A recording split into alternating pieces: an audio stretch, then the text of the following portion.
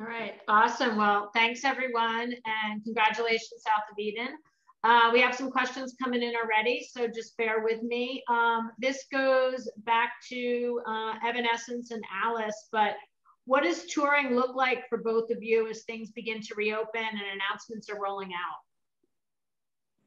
Do you have I, plans yet, Alice? I, have heard rumors of uh, September or October.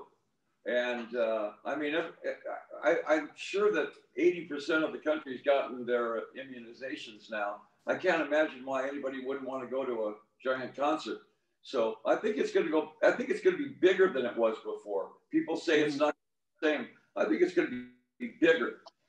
I feel the same way. Everybody is so ready to go back to live shows. I think they're going to think of all the times in the last year and a half they've been going, man, why didn't I go to that show when I had the chance? And they're going to be flooding back. I mean, if if their energy is anything close to our energy of how badly we want to be there, I think we're going to be good to go. Um, we're making plans for the end of the year as well, soon to be announced.